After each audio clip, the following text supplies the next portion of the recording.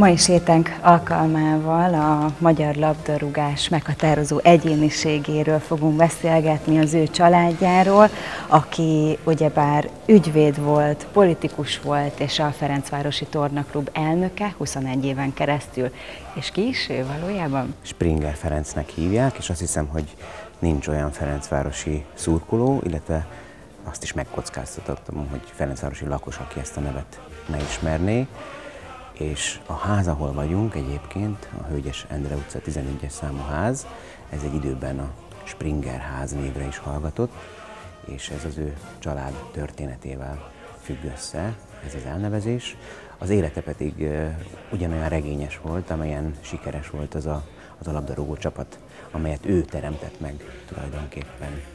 Springer Ferenc eredetileg kassai származású cipszer tehát száz eredeti családból származott, és 1886-ban szerzett ügyvédi diplomát, és igen hamar belekerült egyébként a magyar politikai életbe, a, az országgyűlésben képviselőként is dolgozott, tehát megválasztották országgyűlési képviselővé, az alkotmánypárt színeiben munkálkodott, amely egy ellenzéki párt volt, és itt jön tulajdonképpen a futball vagy labdarúgással való kapcsolata. Hát az alkotmánypárt elég erőteljes kapcsolatokkal rendelkezett és viszonyt ápolt az angliai baloldali, akkori értelemben vett baloldali pártokkal, és Springer Ferenc többször is járt külföldön, és Angliában is, és közelről tanulmányozta a labdarúgásnak a, a, az emberekre való jótékony hatását.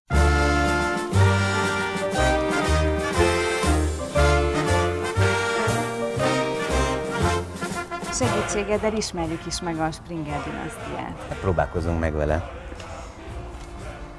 Ugye azt már tudjuk, hogy ez a ház egy időben a Springer ház nevet is viselte, és nem véletlenül.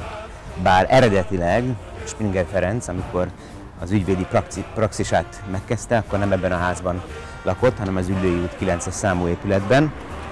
És valamikor a századfordulón, tehát a 20. század elején költöztek ebbe az egyébként 1900-ban épült házba, és hát a, a népes családja is követte őt.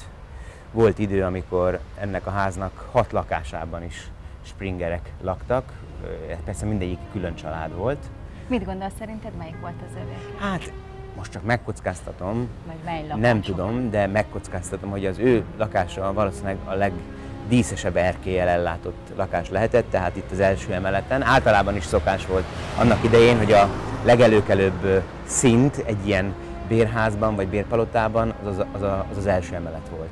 A földszinten általában ö, szegényebb sorú vagy sorsú emberek laktak, és aztán a második és harmadik emeleten szintén, tehát az első emelet az, amiről biztosan ki lehet jelenteni, hogy springerek laktak, és hát mivel a legszebb erkély az, az adja magát, én úgy gondolom, hogy az lehetett az ő, ő és a, a felesége lakása. És most, mint megtudtuk az egyik lakótól, hogy az egyik rokona még mindig itt Igen, él igen ez nekem is nagy és kellemes meglepetés volt egyébként. Hát a Springer családról még azért annyit hagy hogy meséljek el, vagy mondjak el, hogy, hogy elég népes család volt.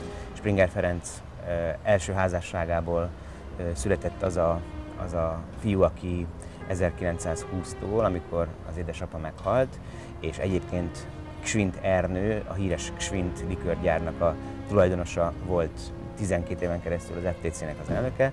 Ez a fiú volt az ügyvezető elnök, és a valódi munkát, a, a tényleges ügymenetet ő irányította, tehát Springer Ferencnek a, az első szülött fia.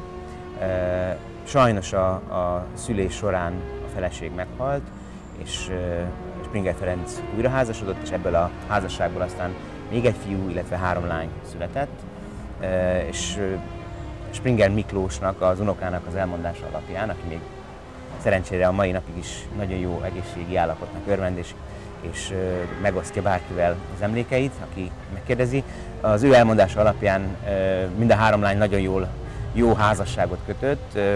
Volt orvos férj, volt jogászférj, és az egyik, egyik férj, férjet úgy hívták, hogy Mensáros Zoltán, és az ő két fia közül az egyik lett a magyar színművészet talán legnagyobb, vagy egyik legnagyobb alakja Mensáros László, és bizony volt idő, amikor a Mensáros család is ebben a házban lakott a, a springerekkel együtt. Ahogy említettem, hat lakás is tele volt kisebb és nagyobb springerekkel. Hát az FTC-hez fűződő viszony pedig hát a mai napig tart, a, ami a családot illeti természetesen. Ugye ezt már említettem, hogy a, a, az alapító atya, fia volt a, a, a, az ügyvezető nagyon sokáig, és aztán már a második világháborút követően is e, szervesen részt vett a Springer családnak a, a, a, a, a fiú tagjai részt vettek a, az FTC e,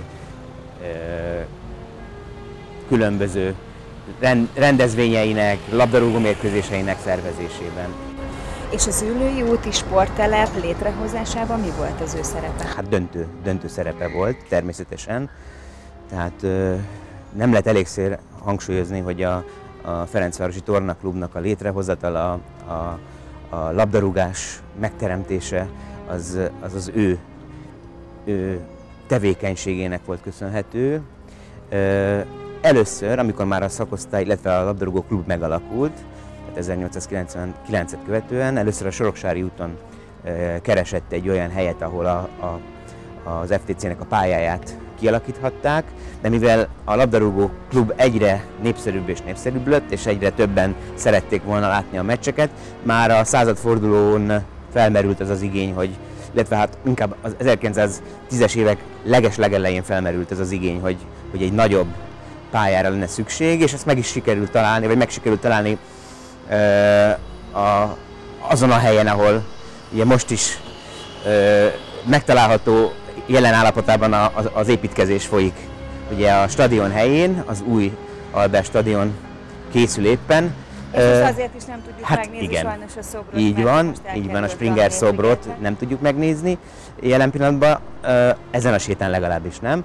És 1911-ben egy Matyok Aladár nevű építésznek a tervei alapján készült el az a régi uh, faszerkezetes pálya, a, ugye lelátóra kell ilyenkor gondolni, amikor ezt mondom, hogy fából készült a szerkezetes pálya, amely aztán egészen 1974-ig a, a, a, a, az FTC stadionja is volt, és ennek az építésében, a, a pénzügyi háttér megteremtésében alapvető szerepe volt Springer Ferencnek, nélkül ez nem jöhetett volna össze. Szerinted mi annak az oka, hogy őt tényleg 1899-től a Ferencvárosi Tornaklub alapításától egészen haláláig, tehát 21 éven keresztül megválasztották elnöknek évről évre, tehát hogy Szerinted milyen, milyen ember volt hát egy ő? hihetetlen munkabírású ö, embernek kellett lennie, hiszen ő amellett, hogy az FTC ügyeit irányította és végezte, amellett ügyvédként is praktizált, és amellett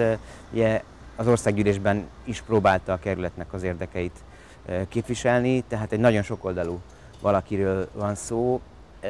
Viszonylag fiatalon halt meg, ami esetleg azt is jelenthette, hogy, hogy azért ez a nagyon-nagyon sok energia, amelyet a labdarúgás, a magyar labdarúgás, az FTC számára tett, illetve amelyet belefektetett, és az ügyvédi praxis, és az országgyűlési képviselőség, tehát a politika, politikában való részvétel azért felőrölte az ő egészségi állapotát, és fiatalon, 51 évesen hunyt el.